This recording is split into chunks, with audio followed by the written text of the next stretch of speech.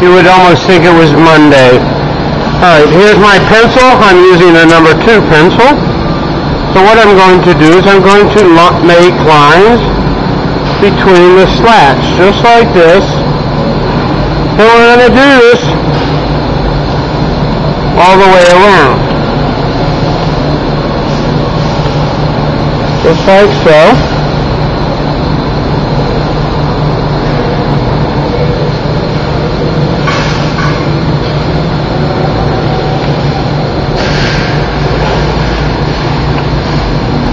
Very easy job. It's a little time consuming. So rather than consume my video time, we're going to shut the camera off here in a second and finish this and show you what I, how it's going to look when I'm done.